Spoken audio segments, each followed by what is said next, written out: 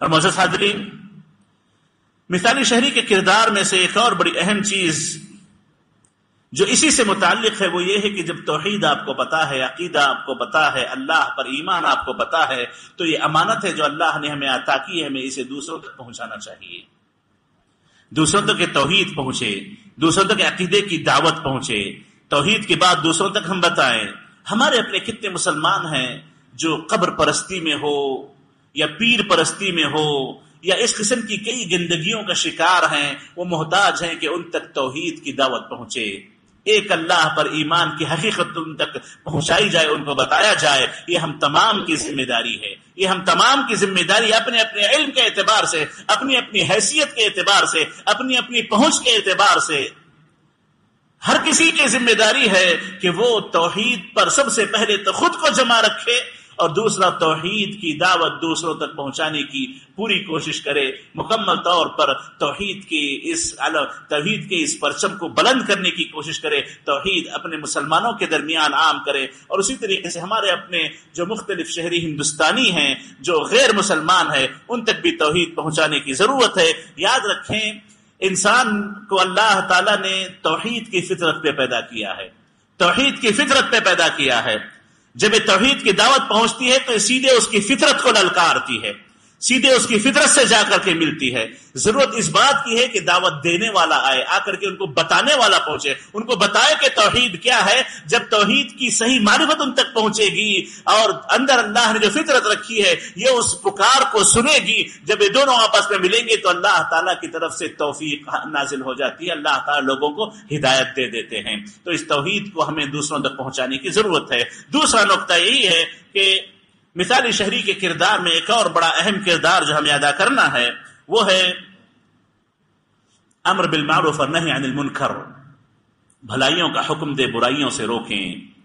بھلائیوں کا حکم دے برائیوں سے روکیں۔ یہ ہماری ذمہ داری ہے، جس کو اللہ نے بڑے خوبصورت انداز میں کہا کن تم خیر امہ اخریت للناس تأمرون بالمعروف وتنہون عن المنکر وتؤمنون باللہ۔ تم سب سے بہترین امت ہو، تم سب سے افضل امت ہو، سب سے عمدہ امت ہو۔ جس کو لوگوں کے لیے اللہ تعالیٰ نے برپا کیا ہے، جن کی ذمہ داری اللہ نے بتائی، تأمرون بالمعروف، تمہیں بھلائیوں کا حکم دینا چاہیے، تمہیں برائیوں سے روکنا چاہیے، اور ہر حال میں تمہیں اللہ پر مضبوط ایمان رکھنا چاہیے۔ معزز حاضرین، بھلائیوں کا حکم وہی دے گا جو سب سے پہلے بھلائی کا خود پابند بنے۔ برائیوں سے وہی روک پائے گا جو سب سے پہلے اپنے آپ کو برائیوں سے روک لے۔ محسوس حاضرین، ہمیں اپنے آپ کو بھلائیوں کا پابند بنانے کی ضرورت ہے۔ برائیوں سے اپنے آپ کو پاک کرنے کی، صاف کرنے کی ضرورت ہے۔ تبھی جا کر کے حقیقی معنوں میں ہم یہ بھلائی کے پہنچانے کا کام، برائی سے روکنے کا کام ادا کر پائیں گے۔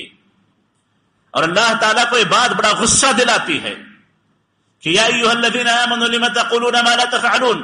كبر مقتا عند الله ان تقولوا ما لا تفعلون۔ کہ ایمان والو، تم جو کہتے ہو، کرتے کیوں نہیں ہو؟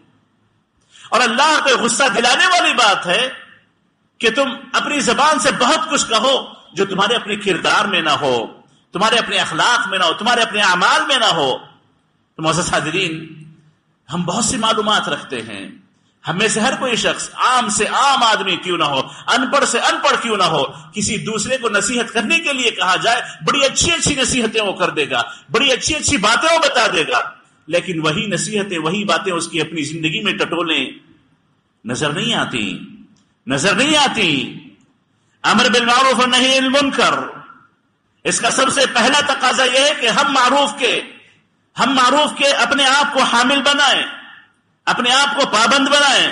ہر قسم کے منکر کے، منکر سے اپنے آپ کو روکیں۔ ہمارے عقائد، ہمارے عبادات، ہمارے معاملات، ہمارے اخلاق، ہماری زبان، ہمارا لین دین، ہمارا ملنا جلنا، ہمارا اٹھنا بیٹھنا، سب اس اس قاعدے کے تحت ہو۔ کہ ہم بھلا بولیں گے، بھلا کریں گے، برائی سے روکیں گے، برے سے اپنے آپ کو روکے رکھیں گے۔ یہ قاعدہ ہمارا ہونا چاہیے۔ تو جب ہم چاہتے ہیں کہ مثالی شہری بنے مثالی شہری ہمیں ہونا چاہیے، ایک مثالی مسلمان ہمیں ہونا چاہیے، تو یہ ہمارے اندر اخلاق ہونے چاہیے کہ ہم امر بالمعروف اور نہیں دل منکر کا جو جذبہ ہمارے دلوں میں ہونا چاہیے۔ امر بالمعروف اور نہیں دل منکر یہ جو سب سے بڑی ذمہ داری اللہ نے ہمیں ادا کی ہے، اس ذمہ داری کو ہمیں سب سے پہلے اپنے آپ پر لادنا چاہیے، اپنے آپ کو اس کا پابند بنانا چاہیے۔ ہر کوئی شخص، بلکہ یہاں پر نبی کریم علیہ السلاۃ والسلام کی اس حدیث کا میں حوالہ دے دوں جس میں نبی کریم علیہ السلاۃ والسلام نے فرمایا، صحابہ سے خطاب کرتے ہوئے کہ تم ایک ایسے زمانے میں زندگی گزار رہے ہو کہ جس زمانے میں اگر تم میں سے کوئی شخص اپنی جتنی معلومات ہیں، ان معلومات کا دس فیصد حصہ چھوڑ دے، وہ ہلاک ہو جائے گا۔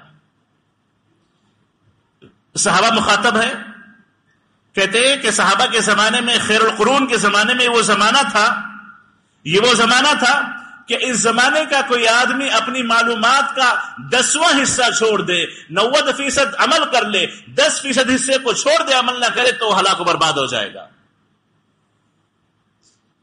ایک اور زمانہ ایسے آئے گا، جس زمانے کے تعلق سے نبی کریم علیہ السلط والسلام نے فرمایا کہ اس زمانے کا کوئی آدمی اپنی معلومات کے حساب سے، اپنی معلومات کا دس فیصد حصہ عمل کر لے نوت فیصد حصہ چھوٹ رہا ہے اس سے، لیکن دس فیصد حصہ عمل کر لے تو کامیاب ہو جائے گا۔ دس فیصد حصہ عمل کر لے تو کامیاب ہو جائے گا۔ اس حدیث کو سامنے رکھتے ہوئے ہم میں سے ہر کوئی اپنا محاسبہ کریں کہ ہماری معلومات کتنی ہمارا عمل کتنا ہے۔ ہماری معلومات کتنی ہے ہمارا عمل کتنا ہے۔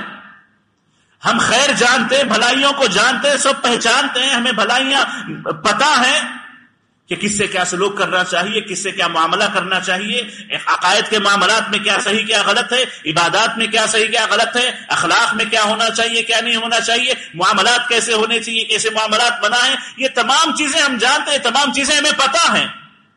کیا ہم اس کے دس فیصد پہ عمل کر پا رہے ہیں؟ اس محاسبے کی ضرورت ہے۔ تو معزز حاضرین امر بالمعروف اور نہیں المنکر، وہی بندہ کر پائے گا جس نے سب سے پہلے اپنے آپ کو اس کا پابند بنایا ہو۔